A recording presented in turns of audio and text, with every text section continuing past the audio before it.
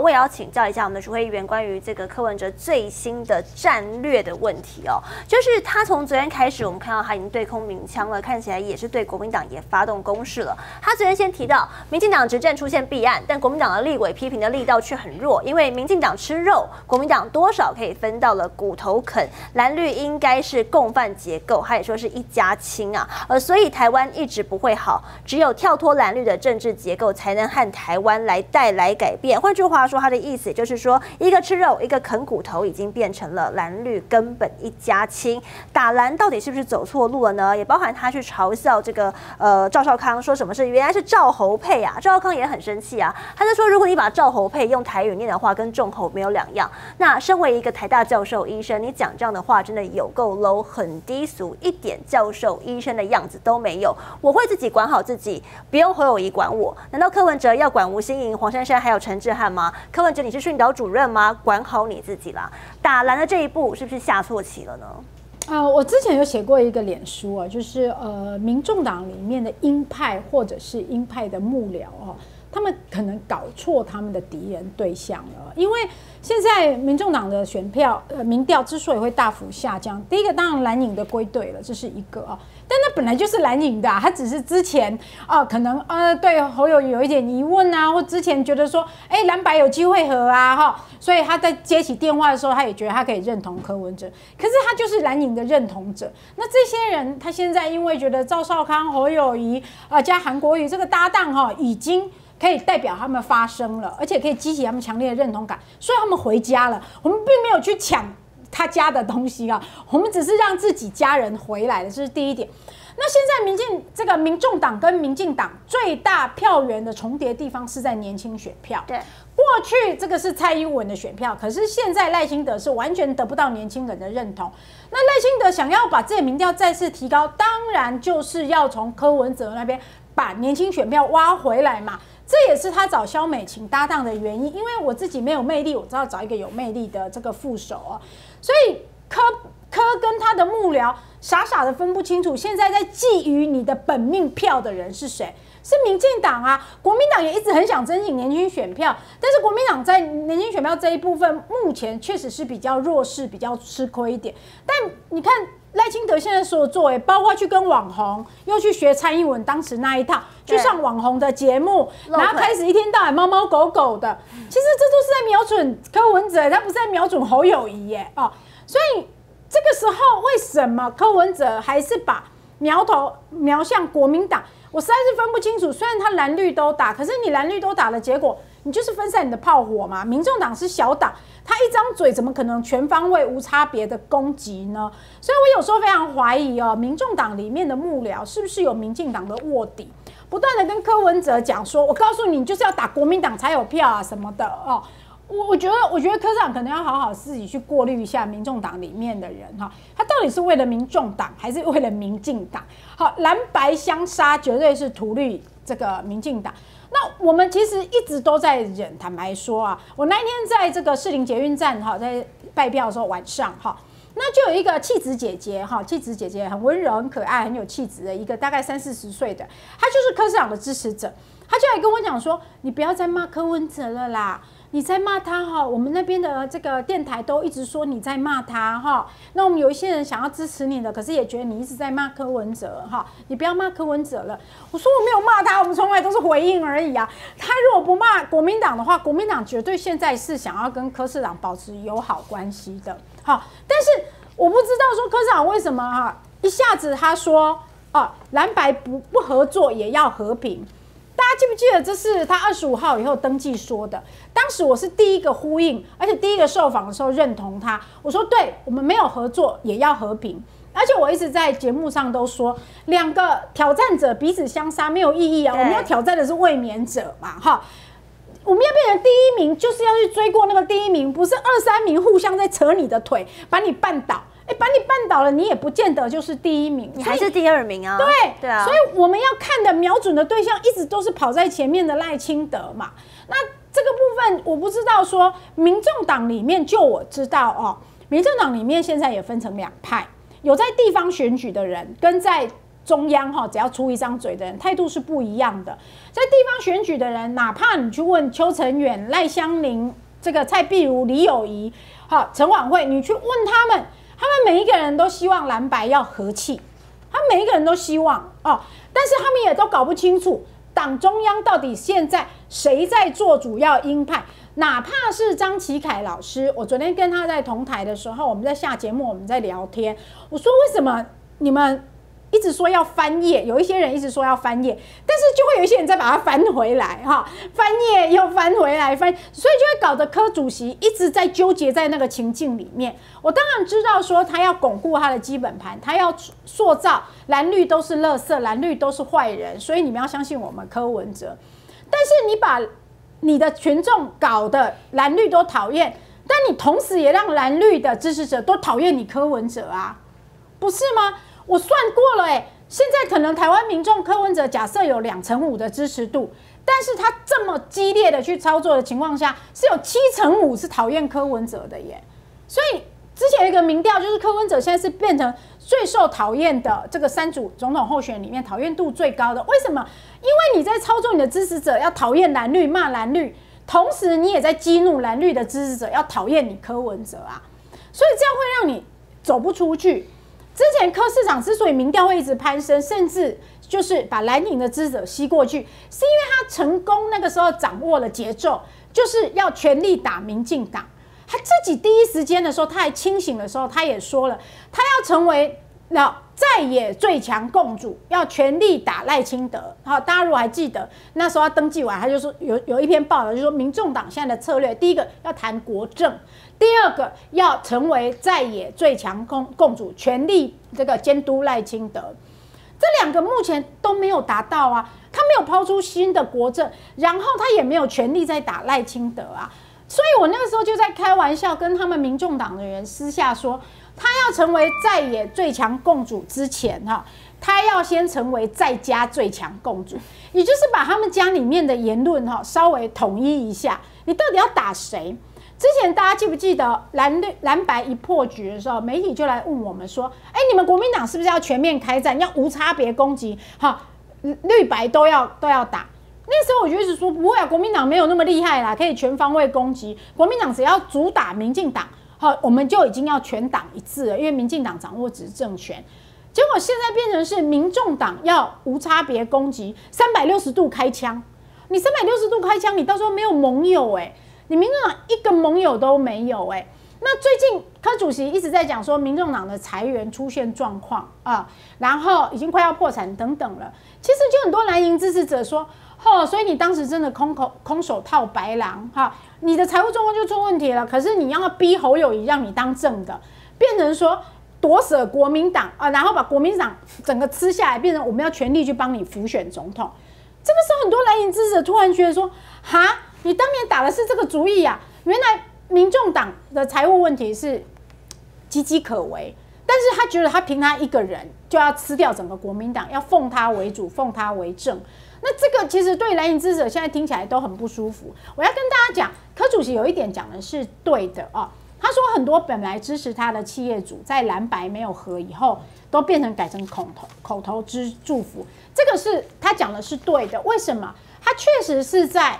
谈蓝白河的过程，甚至之前，好，他跟黄珊珊到处在拜会金主，所以他不是不需要财团哦，他都拜会过了。因为我们有一些认识的老板就都被拜会过了。那确实很多人哈担心明年不能下架民进党，所以都会跟侯跟柯都讲，蓝白河我们就愿意捐，不是只有跟柯讲，也跟侯讲，因为他们要捐的是会赢的那一组。好，就像那时候地方人士有一些挺郭的，也说不会赢，他们就不支持。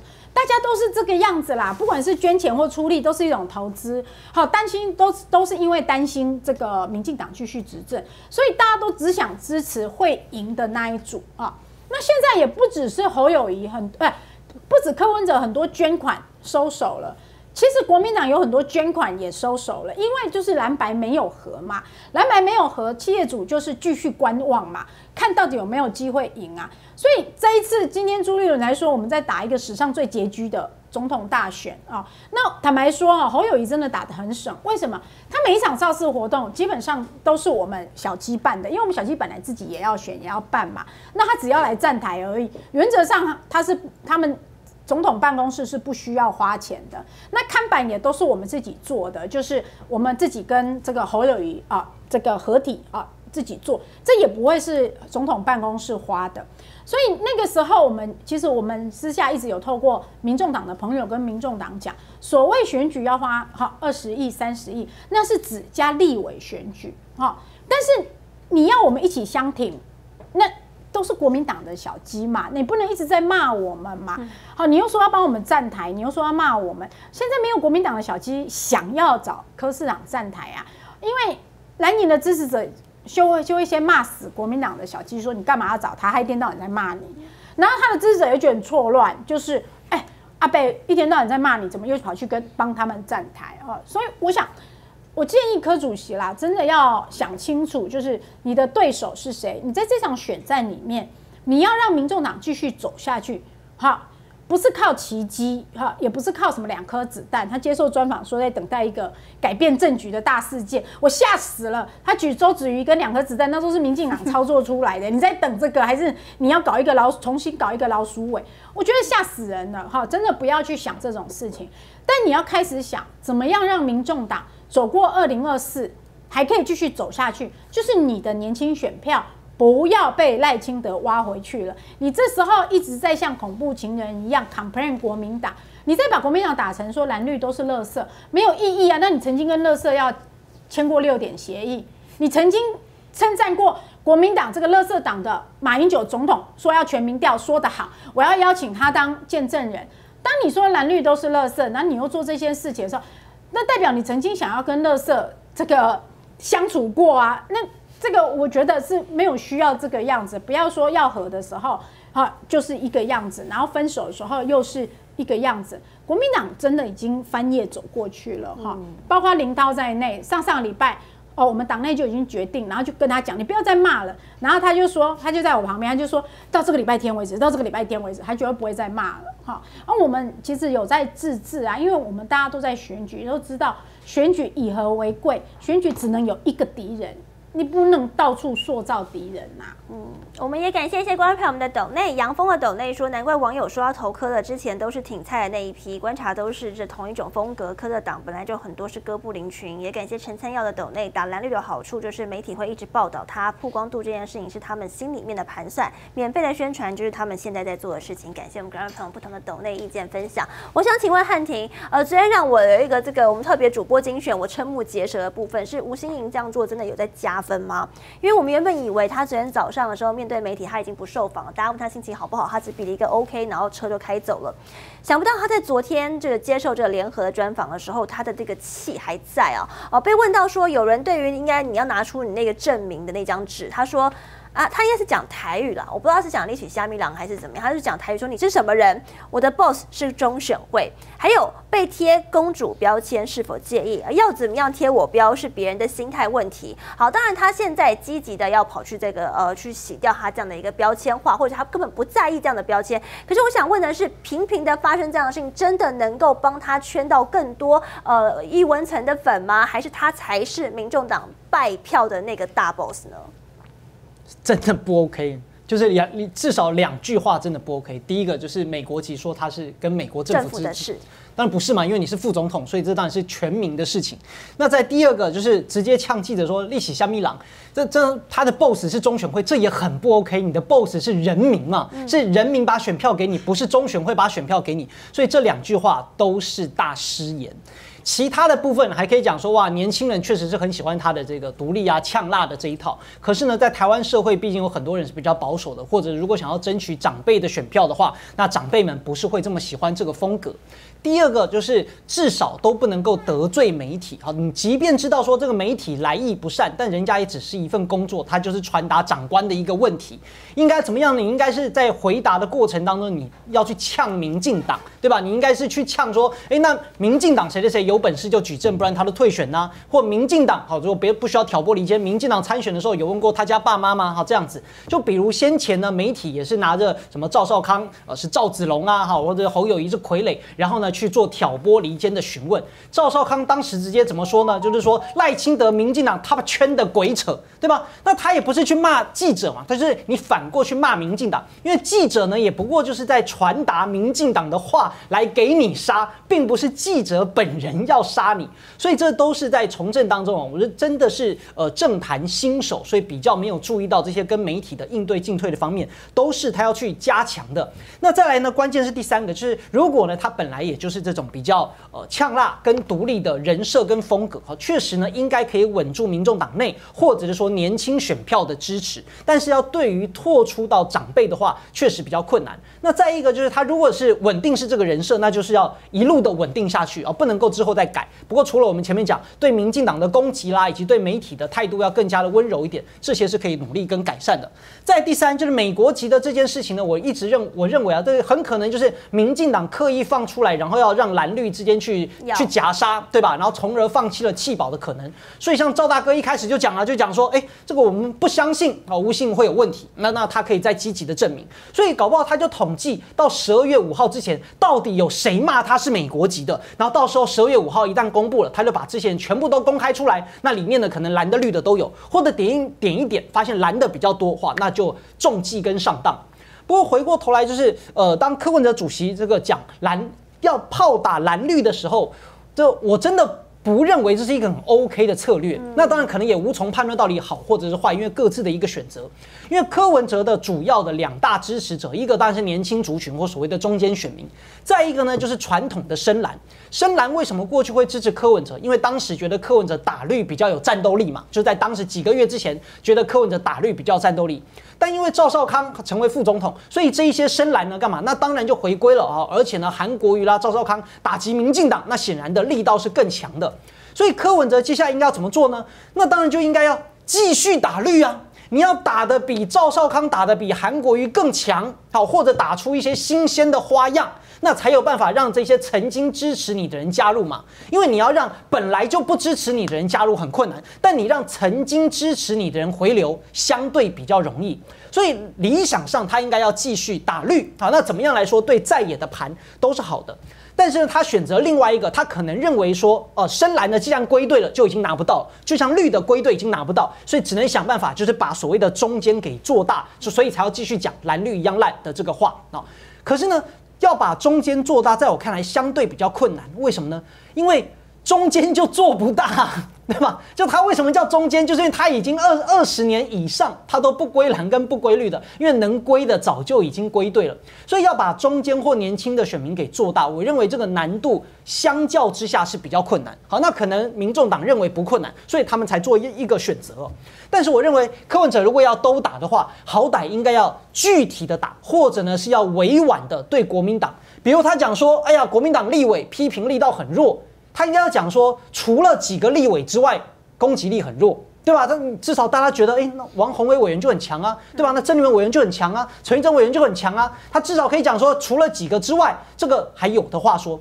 第二个呢，他如果要讲说，民进党吃肉，国民党吃骨头，有这种事吗？就哪一个吃到骨头，就是直接点名讲啊，否则的话，我们只看到赖品妤、赖百亿，国民党的谁拿到了光电的弊案。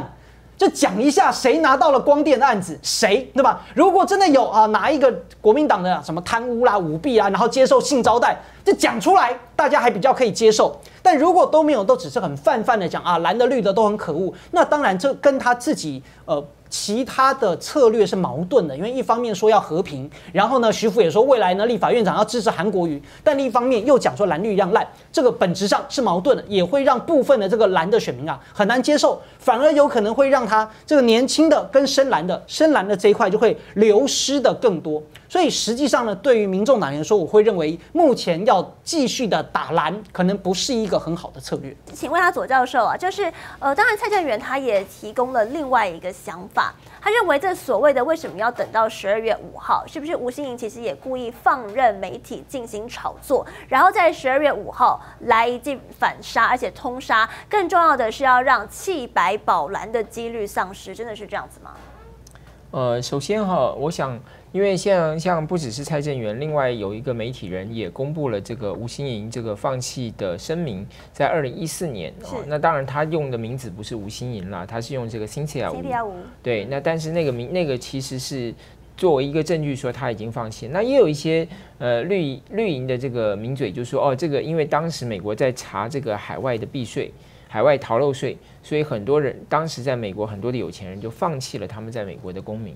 哦，不管如何，反正这个国籍这个问题看起来，呃，应该不会是一个真的大的问题啦。就应该现在现在从现在的证据来看哈，那当然因为十二月五号是中选会会公布这件事情，所以他为什么等到十二月五号？那我也蛮同意刚才这个淑慧跟这个汉庭所讲的，就是说其实蓝蓝呃蓝白在在在未来这段时间，真的是对于一些不必要的肢节问题，真的不需要再去吵哈，因为一方面。大家都已经、已经、已经都应该已经翻页了嘛？那个蓝白河这个问题已经都都处理过。第二，如果真的要在立委这个层次还希望合作，那最起码能够做到就是不要互相攻击。而柯文哲自己也说啊，这句话还是他自己讲的，他说不要相互攻击。那我觉得真的是希望大家呃，在这个在选举的人、辅选的人都能够身体力行啊。我觉得，因为其实民众希望看到的是台湾有一个不一样，未来有一个不一样的政治面貌。如果明年呃新当选的总统能够真的在政在在行政院组成一个联合内阁，然后通过政党间的合作，去创造一个多数民众所能够共同接受而且信任的一个新政府，我相信台湾的政治面貌会很不一样。那能够能不能够做到这一点，就从现在开始啊。所以你现在就要去培养跟酝酿那样子的默契，当然不是要说一定要说对方的好话，但最起码你可以知，你可以就是说把你的攻击的火力也好，或者把你讨论的重点也好，能够着重在所谓真正民众最关心的一些，比如像未来国家该怎么治理，一比如像说现在国家所遭遇的问题，未来要怎么去解决，我觉得这个才是真正有实意的东西嘛。你不要你骂国民党好。那但是问题现在中央执政是国民党吗？不是嘛？所以说你现在处理的问题应该是说中央执政的这个问题，未来要怎么去解决它？在立法院这个层次，在行政院这个层次，我觉得这个才是比较有意义的事情。至于国籍这个问题，因为现在也讨论肖美琴的国籍问题嘛，所以当然大家会有一些呃会很有兴趣。哦，当然也有很多是需要事实的这个呃铺陈，但是我认为在吴欣盈这个部分，我觉得现在看到的证据应该不会是一个太大的问题。教授，刚刚我们那个观众朋友们在发问的葛莱仪说蓝白不要操作冻结台独纲领这件事情，这个问题我觉得是一个很值得讨论的问题，因为今天早早上是呃泰报去呃对葛莱葛莱仪做了一个访问，那在葛莱仪那个访问里头，其实你注意到哈，它的原句是什么？这个其实可以给大家。稍微找一下念一下哈，因为我认为这个要尊重呃当事人，我们应该是要把他这个原句话原句把它拿出来讲哈。那他的原句是怎么讲的呢？他的原句是说，根据这个《泰报》的报道，葛莱伊表示，过去几个月来，无论是民众党、民进党或国民党，都试图利用他的观点来得利，这让他感到不安。他是一名独立学者，他不想帮助任何特定的候选人获胜。所以说，葛莱仪啊，其实过去一段时间，很多人认为他跟绿营是比较亲近的。这当然很多人都有这个印象。他讲的话，大家让大让大家有这个印象。那是不是这样？我想葛莱仪他自己知道。可是我今天就就现在他讲的这件事情，他受访的时候，他说，无论是民众党、民进党或是国民党，他先讲了民众党。第二讲是民进党，第三讲是国民党，并不是所谓的蓝白这个问题。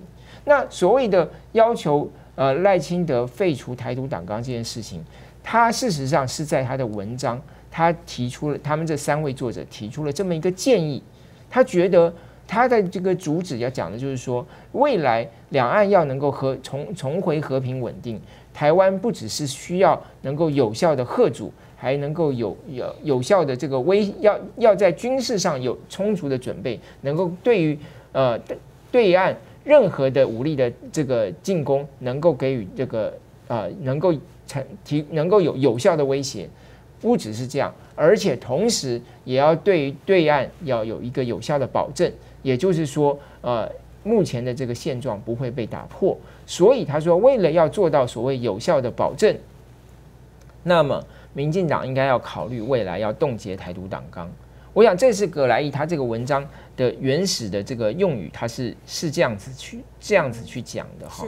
那因此，我觉得在我觉得民进党如果说要说哦，葛莱伊就是说民呃这个蓝白的政治人物去。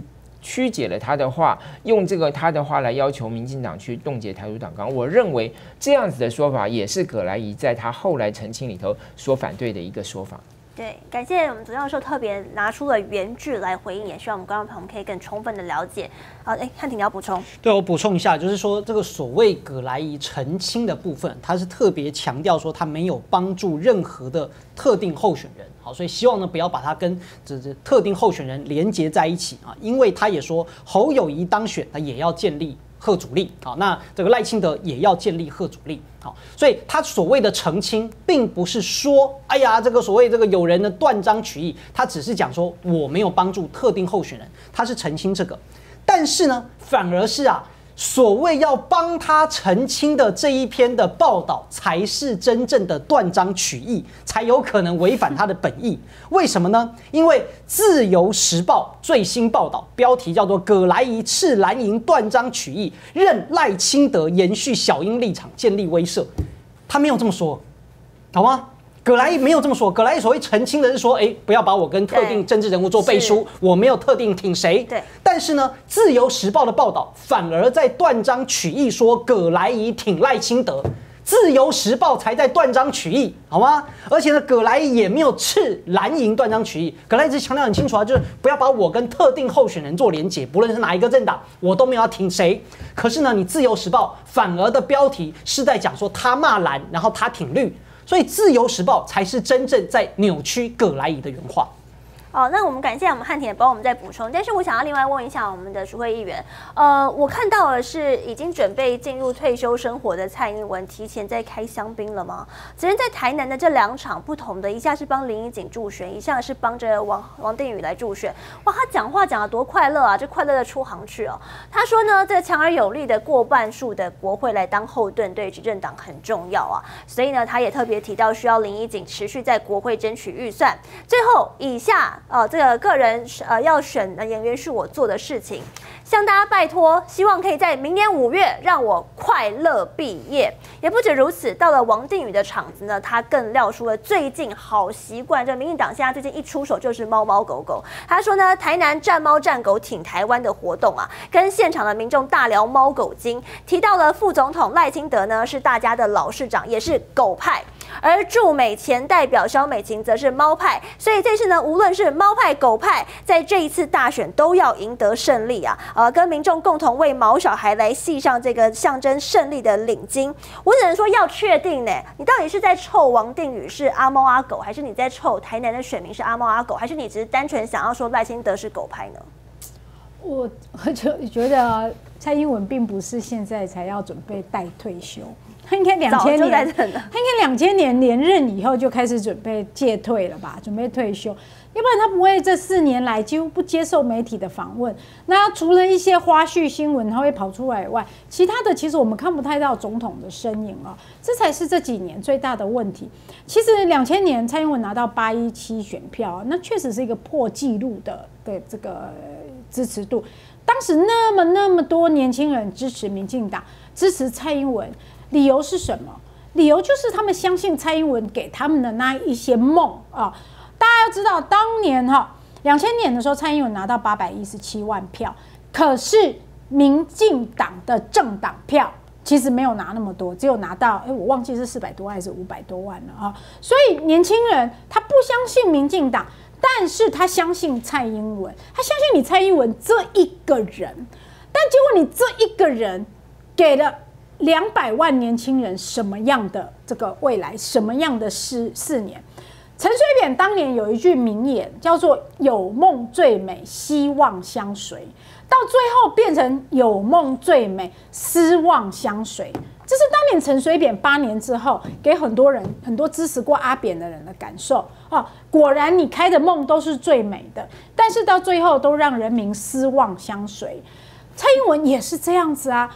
两千年他也是开了一堆美梦给年轻人，然后塑造成自己是小英，六十几岁的小英跟网红在一起，然后搞得自己好像很活泼，很怎么样，然后让年轻人把她当做女神一样的这样子的去追捧。结果四年之后，该骑摩托车上班的还是骑摩托车上班，买不起房子的还是买不起房子。年轻人的生活没有改变，甚至连打疫苗都被安排在最后面的梯次，打 BNT 都需要民间去捐赠，需要这个台积电，需要慈济，然后年轻人才有 BNT 可以打。所以你蔡英文到底为年轻人做了什么？你一直说你八年要有二十万户社宅给年轻人，但是我告诉大家，现在已经是啊十二月。三号了，十二月三号了，距离赖蔡英文毕业只剩下六个月了。到现在七年半的时间里面，蔡英文有没有去剪彩过他盖的任何一户社宅？他现在不要给我一堆成绩哦，他把地方的都算成他的，他把台北市的都算成他的。你不要去掰一堆数据，我们找得到找不到任何一则新闻，任何一个年轻人。你住过蔡英文帮你盖的社宅？蔡英文曾经去开箱过他任内属于内政部去盖出来的社宅，一户都没有。不要说，哎呀，没有二十万户，也有两万户啦，没有一户都没有。所以我半年前我就在开玩笑说，哇，现在蔡英文面对一个窘境，万一在他卸任前真的盖出第一栋，他到底要去剪彩还是不要剪彩？去剪彩，人家就发现啊，这是你的第一栋啊，啊，不去剪彩又很可惜。我八年终于盖出一栋了哈，所以我现在也不知道说陈建仁到底要不要让蔡英文在卸任之前有第一栋的设宅，这是他当当年答应年轻人的。当第二个，他当年答应年轻人要终结低薪，有吗？有吗？每年调个一一二十块的基本工资，每年这样调一二十块一二十块，但是每年增加的电价。物价都超过这个基本工资啊，所以年轻人是越来越苦。照理说好，我可以缩小贫富差距啊，日子过得苦一点，但是我看到贫富差距正在缩小，我看到希望在那里。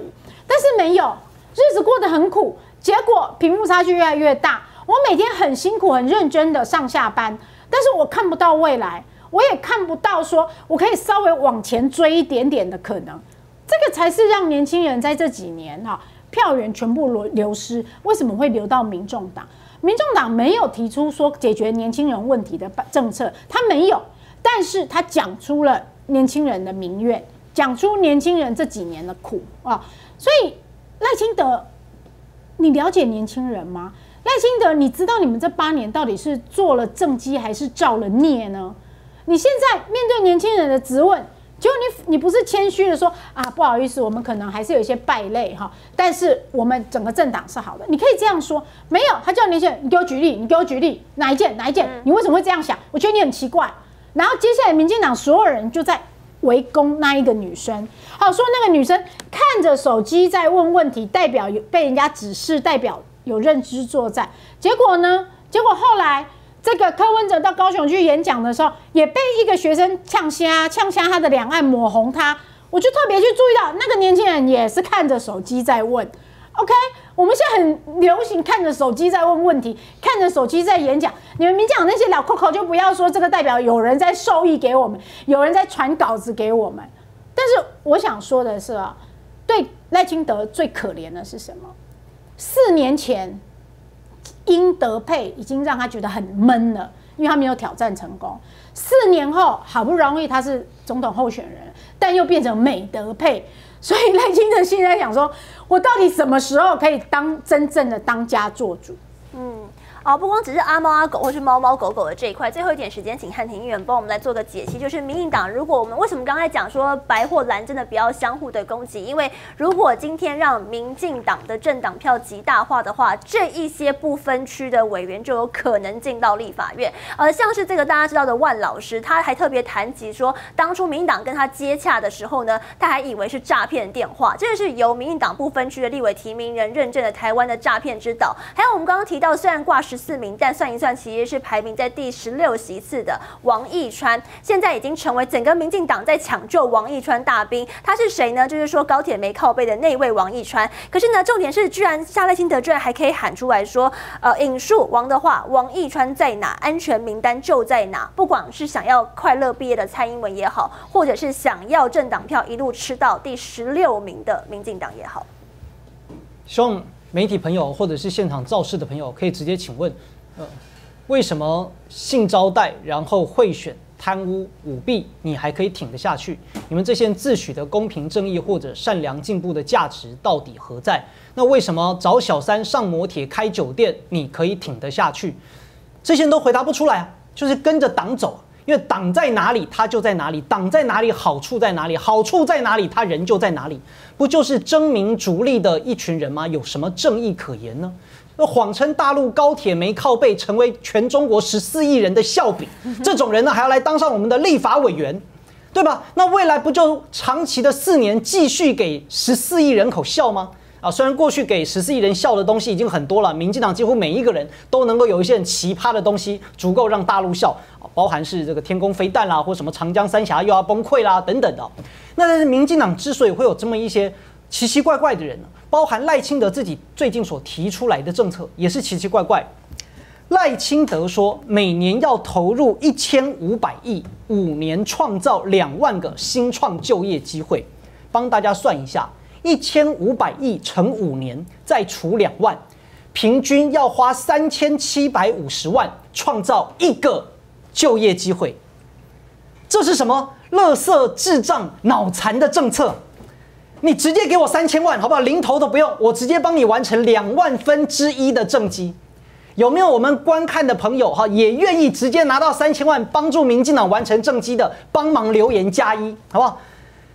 然而呢，这个乍看荒唐荒谬的政策，其实已经实现了，在哪里？就是速发布，因为五百九十八人的速发部编列了两百一十八亿元的预算，平均每个人编列的预算就是三千六百五十万元所以，投资新创真正要达到的目标，应该是你的科技研发数啦，或者是科技获奖数，或者是专利数，或者是你的风投的投资的报酬率，而不是算什么可笑的就业人数。所以，脑残的政府还有人挺，这才是真正的可笑。别忘了周末大八卦，按赞、订阅、加分享。我们明天继续见，拜拜。原来好的益生菌真的可以帮助入睡。太阳星全效克菲尔益生菌是国家认证 AB 克菲尔益生菌，含七种有身份证的专利活菌，能产生伽巴、色氨酸等助眠因子，难怪吃了更快入睡，也睡得更好。太阳星全效克菲尔益生菌也是台湾市场上唯一添加克菲尔乳杆菌 M1 的产品，这是由台湾知名的大学季转，对季节敏感、调整体质的朋友真的是一大福音。还有这支还添加被称为超级食物的羽衣甘蓝萃取物，不少研究都指出十字花科蔬菜有助抗炎及防癌，像是羽衣甘蓝含有高量的叶黄素、贝塔胡萝卜素、维生素 K、维生素 C、叶酸等丰富营养素。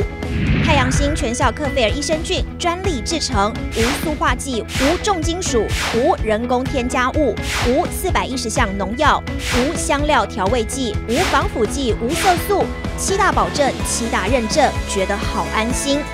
每日克菲尔时刻美好，Good Feel Feel Good，快点购下单！太阳星全效克菲尔益生菌。